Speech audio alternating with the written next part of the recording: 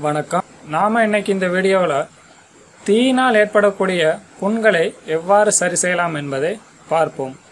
செம்பருத்தி இலை பூ ஆகியவற்றை சேர்த்து நன்றாக அரைத்து கொள்ள வேண்டும். பின்னர் இவற்றை தீப்பட்ட புண்ணின் மீது பூசி வந்தால் அதனால் ஏற்படக்கூடிய எரிச்சல் காந்தல் போன்றவைகள் குறையும். முப்பது மில்லி தேங்காய் எண்ணெயுடன் ஐம்பது மில்லி அளவு தெளிந்த சுண்ணாம்பு நீரை கலந்து தீப்பொண்ணின் மீது தடவி வந்தால் தீப்பொன் வந்து குறைய ஆரம்பிக்கும்.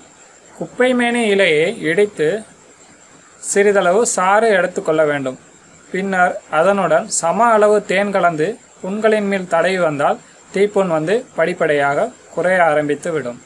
வேப்ப மரத்தின் கொழுந்து இலைகளை எடுத்து அதனுடன் பசுமோர் விட்டு அரைத்து தீப்பட்ட புண்களின் மீது பூசி வந்தாலும் தீப்புண் வந்து குறைய ஆரம்பித்துவிடும். இந்த வீடியோ உங்களுக்கு பிடித்திருந்தால் எங்கள் சேனலை சப்ஸ்கிரைப் செய்யவும். கூடவே பெல் சிம்பிளை அழுத்தவும்.